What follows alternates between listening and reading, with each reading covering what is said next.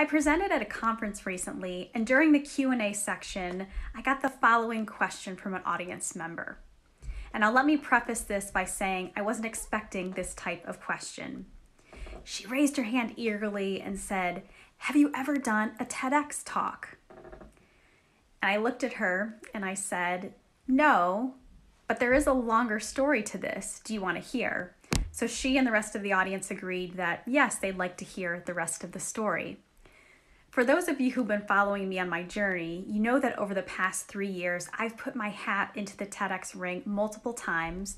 I've gotten close on a few of those occasions, but I've not yet made it to the TEDx stage.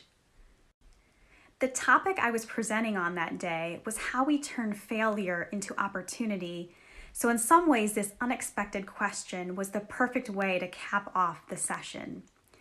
I said to the audience, No, I've not yet made it to the TEDx stage. I've applied over five times and I've gotten close. But do you want to know how I've turned those failures, those no's, into an opportunity? They said, Of course, yes, this is what we learned today. Tell, tell us through a real example.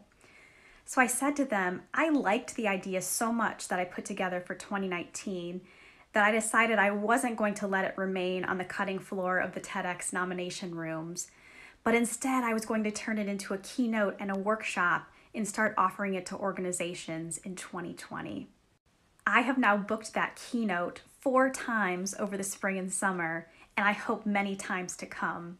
I'll put a link to a blog post I wrote recently that gives you a flavor for what this is about if it might be of interest to you.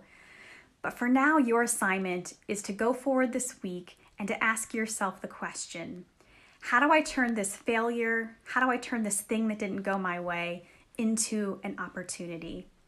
That will shift your energy into a productive place and help you get further faster to your goals.